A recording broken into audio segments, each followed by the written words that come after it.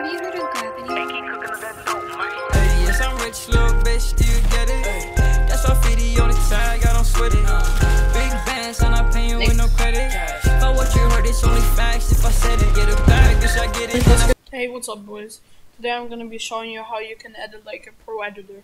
So, firstly, you wanna just sync up all of your clips that you have. I basically did it like so. It goes with the beat. Have you have you heard of It drops on the beat.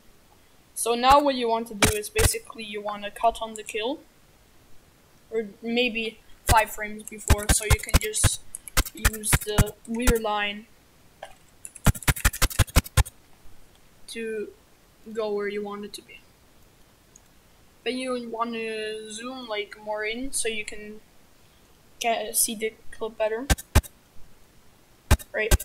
Now basically what you have, you have like basically you have the build up. So now you're gonna right click on the clip. You're gonna press show clip keyframes, time remapping, and speed.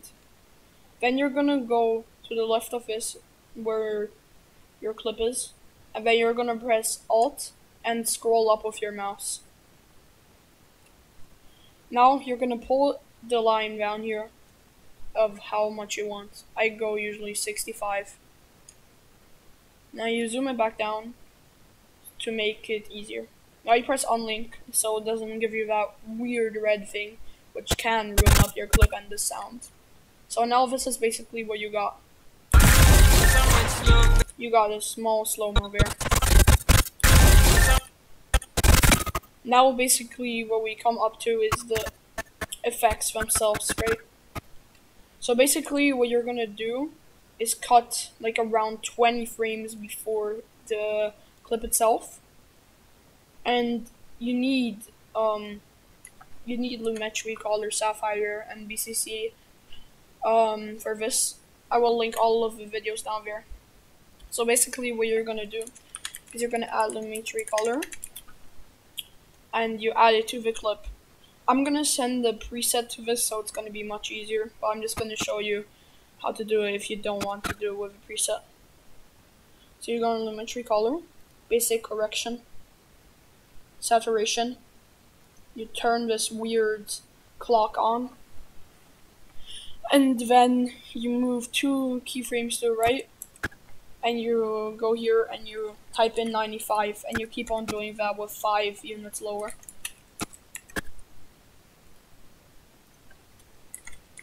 until you hit like around maybe 60 or maybe even 40 40 is the better one. That's the point where you really want it to be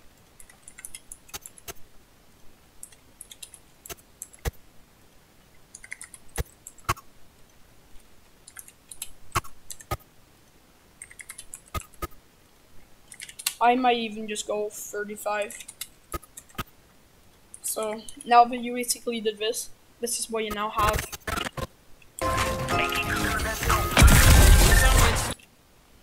That's basically what you have now. So I'll make this into a preset right after the video and I'll link it in the description if you want it easier. So now the main part is you just first might want to render it. It's much better, you can work easier with it. Right, now the main part of it is going to be um, the effect of the first kill. So it, we're gonna maybe let's see the clip itself first. It depends like what you're gonna use. have you have you heard of So I would use maybe like a friend gave me a shake. I'll use his shake probably. So the wave shake, I'll link him in the description too. Some BCC color correction if needed. If it bugs like this, wait. If it bugs like that, wait, uh, I need to move my effect tab. For some people, the effect tab will be here. I accidentally deleted it, so um, yeah, don't wonder. If it does that, do not do it. do not add it. So you want this. You see, like without the million shakes. Yeah. So without like the one million shakes basically happening. And then you can add um, a yarn shake. I have my own version of it. which I will also link in the description because I'm actually not allowed to give you that. And then basically what you have is this. Wait, actually, let's render it first. It looks much better. Have you have you heard of That's basically what you have now.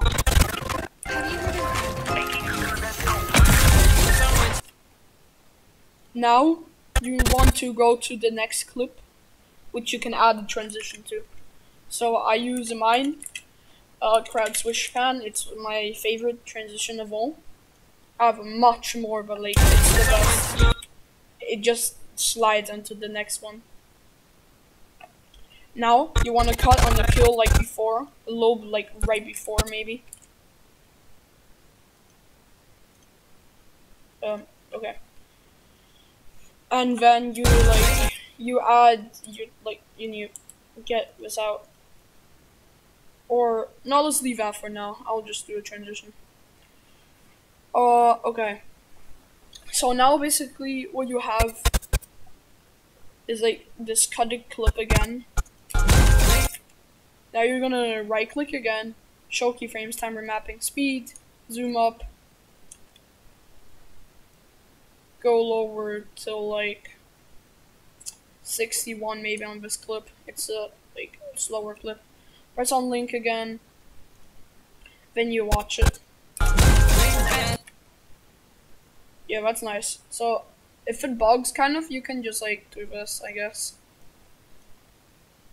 Like it's a little bit longer than so I don't like it that long, so I'm just gonna do this. Great. So now what you have is like a slow-mo clip, and now you're just gonna um go like a little bit before cut. You're gonna take the um um I'm gonna also link this um effect in it. You're gonna make the thing go down by just basically going one keyframe to the right and going five units down with opacity. You find opacity on the basic effect control, by the way. And you also need to press the thingy. I'm just gonna link it in the description, it's much easier. With the thingy, I mean the clock, right? Oh, oops. 50, 45. So you go all the way down to 30. So now what you have is this basically. That's what you have now. You could leave it like this. It looks pretty okay, but I'm gonna go with my impact maybe. Let's see what looks good on it. I'll link all of it in the description then. We could maybe go for the pink glow. Yeah, that looks nice. So now this is what you have. That's what I'm gonna take, yeah, surely. So you can also maybe take my god shake, but that's optional because there's already a shake on it. Now you want to render it just to look how it looks completely.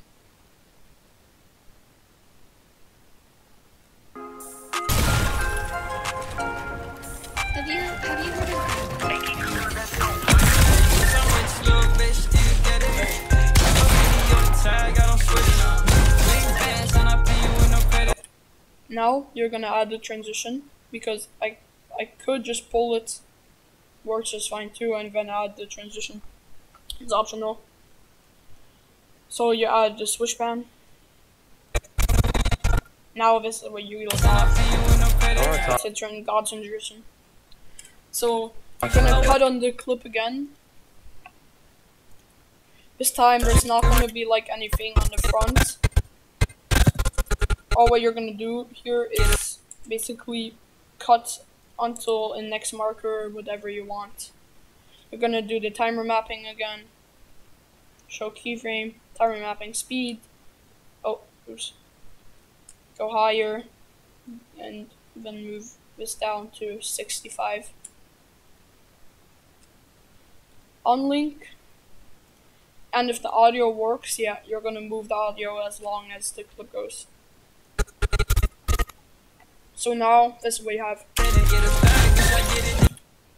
But this is not what you really want. You're gonna add my VHS. Now it kind of gives like a darker texture if you add something to it. So now we're gonna add my, um, maybe the pink impact, it depends how it looks on the clip. That looks pretty nice. So you're just gonna render the selection so you can work with it. Then you basically have that. Now what you can also do is add my normal kill effect. It's like just for normal kills I guess. Yeah. Nothing special. And if you want, like, you can do the saturation thing that we have here again.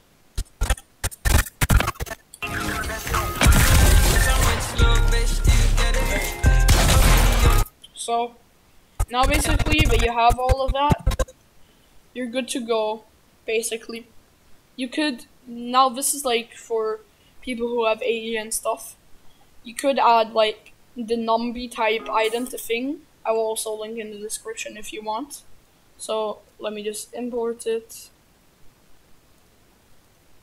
Um, okay, let me actually uh, do something else.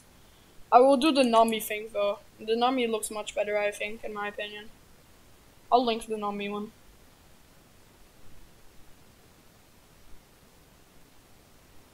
So you just import it, you wait till the composition 1 comes, and then you add it and cut to where you want it to end. And then you render it. And this is what you have. Have you heard of